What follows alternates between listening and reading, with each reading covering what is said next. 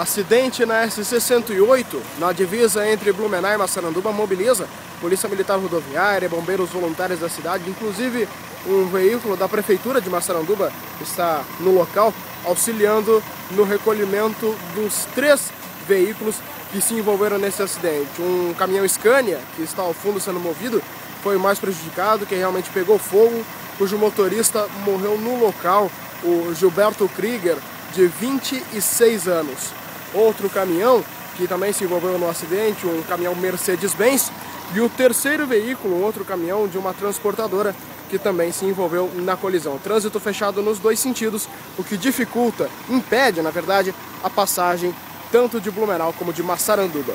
Diretamente da SC-108, fala o repórter Gabriel Vieira.